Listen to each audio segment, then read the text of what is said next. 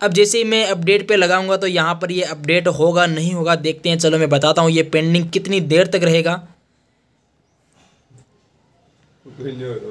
तो यहाँ पर ये बहुत ज़्यादा पेंडिंग रहेगा। तो इसके लिए आप लोगों को करना क्या होगा? आप लोगों को सिंपल सा काम है, इसे होम बटन दबा देना है प्ले स्टोर को दबा के रखना है और इसका ऐप इन्फो में चले जाना है और आप लोगों को जाना है डाटा यूजेज नहीं स्टोरेज वाले बटन पे क्लिक करना है और यहाँ पर नीचे आएगा क्लियर डाटा और क्लियर ऑल डाटा पे क्लिक करना है ओके तो यहाँ पर सारा सारा हट चुका है, वो ऊपर से हट चुका है, लेकिन लेकिन दोस्तों आप लोगों को प्ले स्टोर में फिर से जाना है और फिर से जाने के बाद आप लोगों को यहाँ पर ये, क्योंकि अब नए सिरे से ये स्टार्ट होगा, आप लोगों को यहाँ फिर से क्लिक करना है और आप लोगों को नीचे माई एप्स एंड गेम्स में चले जाना है।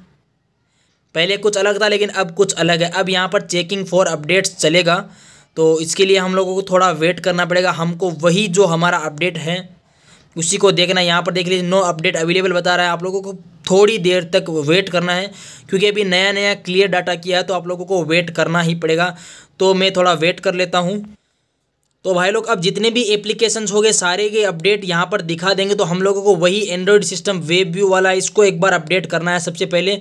उससे पहले किसी में भी हाथ नहीं डालना है, मैं बता देता हूँ, क्योंकि इसको हटाना है तो इसको पहले अपडेट करना ही पड़ेगा।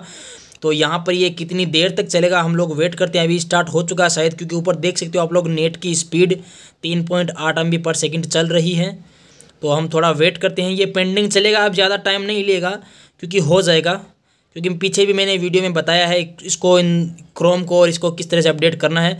तो वही तरीका इस बार भी अपनाना है तो यहाँ पर हम लोग वेट करते हैं थोड़ी देर के लिए और तब तक मैं वीडियो पॉज कर लेता हूँ। हाँ तो भाई लोग, यहाँ पर जो पेंडिंग था वो हट चुका है और निन्यानवे परसेंट डाउनलोड हो चुका है और इंस्टॉल भी हो चुका है।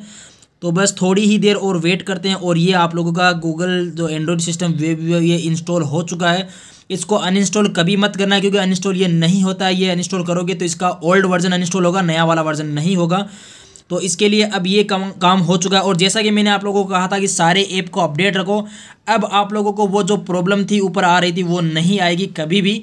जब तक ये अपडेट रहेगा, तब तक नहीं आएगी। तो बस दोस्तों, यही था आज के वीडियो में बताने के लिए। उम्मीद करता हूँ आप लोगों को ये वीडियो पसंद आया होगा। सो आज के लिए इतना ही, मिलते हैं नेक्स्ट वीडियो में, तब तक के लिए बाय बाय